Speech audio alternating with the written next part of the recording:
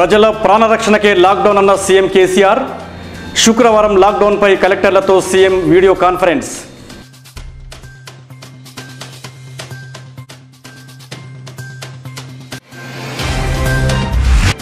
పెద్దపల్లిలో పలు చోట్ల రాజీవ్ గాంధీ వర్ధంతిపై కార్యక్రమాలు.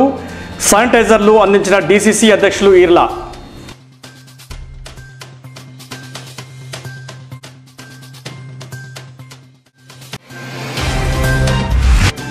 నెల్లూరు ఆనందయ్య వనమూలికల వైద్యంపై ఇంటింట చర్చ. బస్సులు రైళ్ళు నడిస్తే వేలాదిగా వెళ్ళేవారు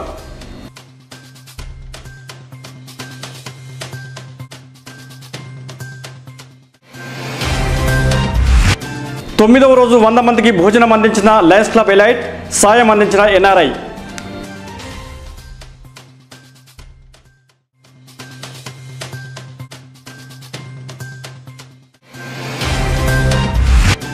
జూలపల్లో శానిటైజర్లు మాస్కులు ఇచ్చిన ఏగోలపూర్ చారిటబుల్ ట్రస్ట్.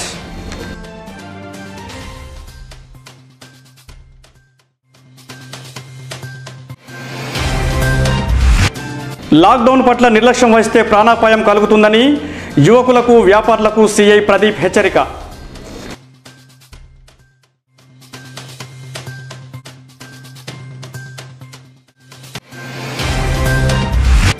జూలపల్లి ఈనాడు విలేకరి రాజేశం కుటుంబానికి టీఆర్ఎస్ నేత నల్ల మనోహర్ రెడ్డి ఇరవై ఐదు వేల ఆర్థిక సాయం.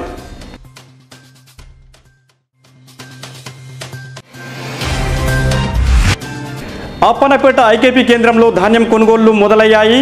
రైతుల హర్షం.